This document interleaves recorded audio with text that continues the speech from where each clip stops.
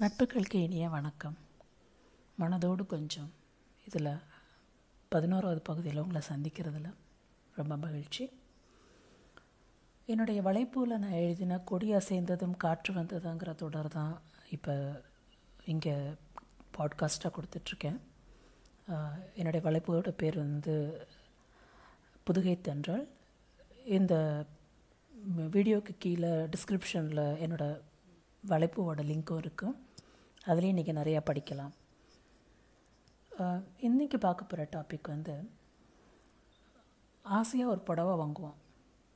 கட்டிட்டு வந்து முதல்ல வீட்டில் இருக்கிறவங்கள கேட்கும் கேள்வி கேள்வி என்னையா இருக்கும்? புடவை நல்லா இருக்கா? எனக்கு சூட் ஆகுதா? நான் அழகாக இருக்கேன் நான் இந்த புடவையில்? அப்படிங்கிற. ஏன் ஆசைப்பட்டு வாங்கினது நாம்? இதில் அடுத்தவங்க கருத்து எதுக்கு? முரணாக இருக்குல்ல? இப்படி தான் அடுத்தவங்க கருத்து கருத்துக்கு நம்ம ரொம்ப மதிப்பு கொடுத்துட்றோம். அடுத்தவங்களோட அந்த அக்செப்டன்ஸ் வெளி உலகத்துலேருந்து வரணும் அடுத்தவங்க நம்மளை பாராட்டணும் அப்படிங்கிற மாதிரியான ஒரு மனோபாவம் நம்ம எல்லாருக்குமே உண்டு. நான் எவ்வளோ கஷ்டப்பட்டு வேலை பார்க்குறேன் ஆஃபீஸில் ஒரு அப்ரி அப்ரிஷியேஷன் கூட கிடையாது அப்படின்னு ஒரு குடும்பத் தலைவன் இல்லை ஆஃபீஸில் வேலை பார்க்குற எல்லாருமே சொல்லுவாங்க. இந்த குடும்பத்துக்காக எவ்வளோ உழைக்கிறேன் எனக்கு ஒரு பாராட்டு உண்டா அப்படின்னு கேட்பாங்க. இல்லத்தரசியாக இருந்தால் என்ன சொல்லுவாங்க நான் சமைச்சது நல்லாயிருக்குன்னு ஒரு நாள் கூட சொன்னது இல்லையே அப்படின்னு வருத்தப்படுவாங்க. குழந்தைங்க வந்து அப்பா அம்மா நான் இதை செஞ்சுருக்கேன் இதை என்னை பாராட்டலையே அப்படின்னு ஃபீல் பண்ணுவாங்க. எல்லாருமே ஒரு விதமான அங்கீகாரமான வார்த்தைக்கு தான் ஆசைப்படுறோம். ஆனால் அந்த ஆசையே நமக்கு அழிவை கொண்டு வருது. எப்படி? இது வந்து பாசிட்டிவ் வார்த்தைகளுக்கு எந்த அளவு சந்தோஷப்படுறோமோ அதே அளவு நெகட்டிவாக நம்ம மேலே கமெண்ட்ஸ் வரும்போது அதை நம்ம ஏற்றுக்கிறது ரொம்ப கஷ்டமான விஷயம். தடுமாறுறோம். அது தர்ற பாதிப்பு வந்து ரொம்பவே கஷ்டமாக இருக்கும். பசங்க மா மார்க் வாங்குறது உடம்பு குண்டாக இருக்கிறத பற்றி வரும் கமெண்ட்டு நம்ம வீட்டில் நம்ம வாங்கி வச்சுருக்கிற சாமானை பார்த்து உறவினர்கள் பேசுகிறது இதெல்லாம் உங்களுக்கு தேவையா? நீங்கள் ஏன் அப்படி இருக்கக்கூடாது? அப்படி இருக்கக்கூடாது அப்படின்னு கேட்குறவங்க நாம் அவங்கக்கிட்ட எதுவும் கடன் வாங்கி செ- காசு வாங்கி செய்யலை. ஏன் வெளியே கூட கடன் வாங்கியிருக்க மாட்டாங்க? ஆனால் தேவையோ தேவையில்லையோ அடுத்தவங்களை பற்றி கமெண்ட் சொல்கிறதுன்னே சில பேர் இருப்பாங்க. அவங்களுடைய அந்த கமெண்ட் வந்து நம்மளை எவ்வளோ தூரத்துக்கு பாதிக்கும்? இதுவும் நம்ம மனசை பாதிக்கக்கூடிய ஒரு விஷயம். பல சமயம் பர்சனலாக நம்ம பாதிக்கும் அளவுக்கு இருக்கும். முக்கியமாக பெண்கள் சந்திக்கும் பிரச்சனை வேலைக்கு போனால் அவங்கள வேறு மாதிரி பேசுவாங்க. வீட்டை குடும்பத்தை கவனிக்கிறதில்ல ஆஃபீஸ் எகதின்னு இருக்கா அப்படின்னு பேசுவாங்க. வேலைக்கு போகலையா? ஓ நீ வேலைக்கு போகலையா? அப்படிங்கிற மாதிரி பேசுவாங்க. நிறைய இல்லத்தரசிகள் சந்திக்கிற பிரச்சனை இதுதான். வேலைக்கு போகலை அப்படின்னா யூ ஆர் நாட் வர்த்தி நீ எதுக்கும் பயன்பட மாட்ட. நீ சும்மா தானே இருக்க வீட்டில் அப்படிங்கிற மாதிரியான சொற்கள் எல்லார்கிட்டையும் கேசப்படணும் அப்படின்னா எதுக்கும் லாயக்கில்லைங்கிற ரேஞ்சுக்கு பேசி காயப்படுத்துவாங்க. குழந்தைகளை விடுறதில்ல. கருப்பாக இருக்க ஒல்லியாக இருக்க அந்த பிள்ளை மாதிரி படிக்க மாட்டேங்கிற அந்த அவங்க டான்ஸ் கிளாஸ் போகிறாங்க நீ இதுக்கு போக மாட்டேங்கிற அப்படி இப்படின்னு பேசுவாங்க. உண்மையாக பார்த்தா அவங்க கருத்தை அவங்க சொல்கிறாங்கன்னு எடுத்துக்கணும். ஆனால் அப்படி நினைக்கிற அம்மா இல்லை. நம்ம மனசில் அந்த வார்த்தைகள் ஊசியாக தைச்சு குத்திக்கிட்டு இருக்கோம். இன்னும் சொல்லப்போனால் அந்த குரல் வாக்கியங்கள் நம்ம காதில் வந்து எக்கோ மாதிரி கீரல் விருந்த டேப் ரெக்கார்டு மாதிரி திரும்ப திரும்ப திரும்ப திரும்ப ஒழிச்சிக்கிட்டே இருக்கும். அதுதான் நமக்கு தீராத மன அழுத்தத்தை தருது. நாலு பேர் பேசிட்டா என்ன செய்கிறது இதுதான். இந்த ஒரு நினைப்பே எத்தனையோ பிரச்சனைகளுக்கு வழிவகுத்திருக்குன்னு யோசிச்சிருப்போமா? யாருங்க அந்த நாலு பேர்? நமக்கு முத்திரை குத்தி நம்ம மனசை கிழிக்க யாருங்க அவங்களுக்கு அதிகாரம் கொடுத்துருக்கிறது? அந்த நாலு பேர் யாராக வேணால் இருக்கட்டும். ஆனால் அவங்க கருத்துக்கு மதிப்பு கொடுத்து நாம் யார்? நம்ம தான் கொடுத்துருக்கோம். அவங்க வார்த்தைகளை நம்ம பாதிக்க வச்சுக்கிட்டது நாம தான். சொல்லுவாங்க வாழ்க்கைங்கிற இந்த வண்டியில் டிரைவர் சீட்டில் நீங்கள் இருங்க அடுத்தவங்களை அந்த சீட்டில் உட்கார வச்சிட்டிங்கன்னா அவங்க இஷ்டத்துக்கு தான் நீங்கள் போகணும். எப்போ நம்ம அடுத்தவங்களோட அக்செப்டன்ஸுக்காக நம்ம எதிர்பார்க்குறோமோ அந்த அங்கீகாரமான வார்த்தைகள் எதிர்பார்க்குறோமோ அப்பொழுதே நாம் நம்மளுடைய வாழ்க்கைங்கிற வண்டியை டிரைவர் சீட்டை அவங்கள்ட்ட கொடுத்துட்றோம். எனக்கு பிடிச்சது நான் செய்கிறேன் என் பிள்ளைக்கு இந்த படிப்பு தான் படிக்க முடியும். அவன் வாங்க மார்க்கை பற்றி எனக்கு கவலை இல்லை. நான் குண்டாக இருந்தால் அவங்களுக்கு என்ன? என்ன உடுத்தினா என்னன்னு இருந்துருவோமா? எப்படி நம்மளால் திங்க் பண்ண முடியுமா?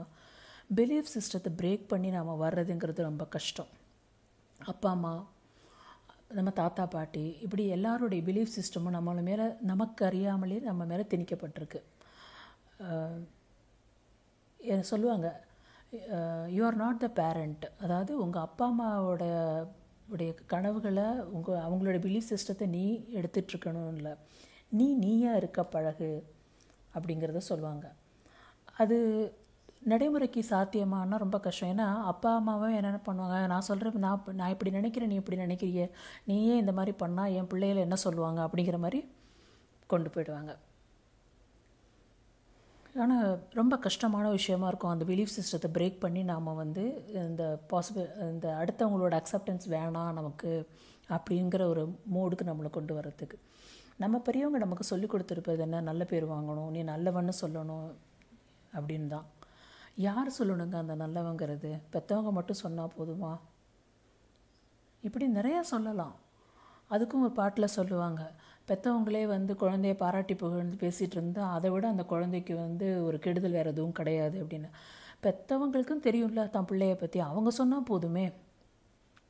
பல சமயம் அவங்க சொல்கிற கருத்து தவறாக போகிறது வாய்ப்பு இருக்குது ஏன்னா அது அவர்களுடைய பார்வை. அந்த மாதிரியான இதெல்லாம் நிறைய டீப்பாக போகும்.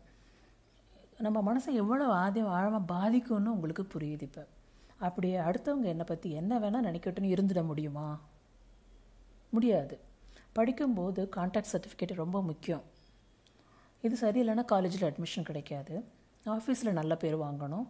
ஏன் கல்யாணம்னு பார்க்க மேரேஜ்க்கு ஃபிக்ஸ் பண்ணுறாங்க அப்படின்னு பண்ணும்போது பொண்ணு வீடு மாப்பிள்ளை வீடு விசாரிப்பாங்களே? அப்போ கருத்து தேவைப்படுதே. அவங்க விசாரித்தேன் விசாரித்த விதத்தில் நல்ல விதாக தான் இருக்காங்க அப்படிங்கிற அந்த ஒரு அங்கீகாரம் தேவைப்படுதே. அதுலேயும் வேற ரொம்ப ஸ்கூலாக சொல்லுவாங்க தாயை பார்த்து பெண்ணெடு அப்படின்னு சொல்லுவாங்க. உண்மையாக பார்த்தா குடும்பத்தினருக்கும் சம்பந்தமே இல்லாமல் மணமகளோ மணமகளோ இருக்க வாய்ப்பு இருக்குது அம்மா அப்பாவுக்கும் கொஞ்சம் கூட சம்பந்தமே இல்லாமல் அவங்க எப்படி இருந்தாங்க? அவங்களுக்கு எதிர்மாறா? இல்லை நேர்மறையாக இருக்கிறதுக்கும் வாய்ப்புகள் இருக்குது முற்றிலும் எதிராக அப்போ எதை வச்சு முடிவெடுப்பாங்க? ஆஃபீஸில் விசாரிப்பாங்க கூட வேலை பார்க்குறவங்க நல்ல பையன்தான் சொல்லணும். இப்படி நிறைய சொல்லலாம். அடுத்தவங்க கருத்துக்கு மதிப்பு கொடுத்து அவங்க சொல்லிட்டாங்க அப்படி நம்ம மனசப்படுத்தப்பட்டு நம்ம உடம்ப கெடுத்துக்கிறோம். இன்றைக்கி நாம் இந்த எபிசோடில் பேசுகிறது இதுதான். அடுத்தவர்களுடைய வார்த்தைகளுக்கு மதிப்பு அதிகம் கொடுக்க வேண்டாம். உங்களை நோக்கி வீசப்படும் எதிர்மறையான கருத்துக்கள். உண்மையில் சொல்லப்போனால் அவங்க யார் சொன்னாங்களோ அவங்க தனக்குள்ளார பார்த்துக்கக்கூடிய ஒரு தவறு. அதாவது என்கிட்ட என்ன தப்பு இருக்கோ அது எனக்கு டைரெக்டாக தெரியாது. அந்த தப்பு அடுத்தவங்க மேலே தான் எனக்கு தெரியும். லைக் அ மிரர் இதுதான் நமக்கு தெரிஞ்சுக்கணும். இந்த நினப்பு நமக்கு இல்லாமல் அடுத்தவங்களோட கருத்துக்கு மதிப்பு கொடுத்துட்டு அவங்க பேசுகிறதெல்லாம் என்னை பாதிக்குது. அவங்களுடைய வருத்தங்களும் வேதனைகளும் கோபத்தில் சொல்கிற வார்த்தைகளாகட்டும் இல்லை நான் ஆரம்பத்தில் சொன்ன மாதிரி ஒரு புடவை எடுத்துகிட்டு வந்தால் ஏ இந்த கலர் உனக்கு நல்லாவே இல்லை. இதை போய் கட்டியிருக்கியே இதில் அப்படின்னு சொல்கிறதுலையாகட்டும் இல்லை. ஏ இந்த கலர் உனக்கு ரொம்ப அழகாக இருக்குது அப்படின்னு அவங்க சொல்லும் பொழுதாகட்டும். எதுக்குமே நாம் வந்து ஆ ஓகே. அவங்க ஏதோ சொல்லியிருக்காங்க. அவங்களுக்கு தெரிஞ்ச விதத்தில் சொல்லியிருக்காங்க. அவ்வளோதான் பர்ஸ்பெக்டிவ் டிஃபர்ஸ் எண்ணங்கள் மாறும். மனுஷங்களுக்கு மனுஷங்க மாறும். சொல்லுவாங்கல்ல அஞ்சு விரலும் ஒரே மாதிரியாக இருக்கிறது இல்லை அப்படின்னு. அது மாதிரி தான் குடும்பத்தில் அப்பா அம்மா தாத்தா பாட்டி பெரியப்பா சித்தப்பா ஒவ்வொருத்தவங்களும் each each and every one எல்லாருமே இண்டிவிஜுவல் பீயிங் தனித்துவம் அவங்கவுங்களுக்குன்னு இருக்குது அவங்கவுங்க அந்தந்த தனித்துவத்தில் இருப்பாங்க. அவங்க அவங்களோட தனித்துவம் அடுத்தவங்கக்கிட்ட வரணும் அப்படின்னா அவங்களுக்கான யூனிக்னஸ் என்ன இருக்க போகுது? பாட்டி மாதிரியே சமைக்கிறா அப்படின்னு சொல்லுவாங்க. மைட் பி அதை விட பெட்டராகவும் இருக்கலாம். இல்லை அதை விட கொஞ்சம் கம்மியாகவும் இருக்கலாம். அவங்கள மாதிரி இவங்க ஏன் இருக்கணும்? ஸோ அடுத்தவங்களுடைய கருத்துக்கு நாம் மதிப்பு கொடுக்கணுமா வேண்டாமாங்கிறது நம்மளோட கையில் தான் இருக்குது நாம் மதிப்பு அவங்க சொல்கிறத அடு அங்கீகாரத்தை வெளியிலேருந்து தேட ஆரம்பித்து அடுத்தவர்களோட கதி கருத்துக்கு மதிப்பை கொடுத்து நீங்கள் சொல்கிறது தான் கரெக்டாக அடுத்தவங்க சொல்லி அப்ரிஷியேட் பண்ணிட்டாங்க என்ன அப்படின்னு சொன்னால் அப்போ நீ அந்த வேலை நீங்கள் செஞ்சது வந்து உங்களுக்கு முழுமை பெறாமல் உங்களுக்கு மனசில் பாதிப்பை கொடுக்கும். அதை விட ஏன் மனசாட்சிக்கு விரோதம் இல்லாமல் எனக்கு பிடிச்சதை நான் செஞ்சுருக்கேன். எங்கள் அம்மா சொல்லுவாங்க உன்னால் அடுத்தவங்க வந்து காயப்பட்டுறாமல் பார்த்துக்க அந்த ஒன்று மட்டும் நீ செய்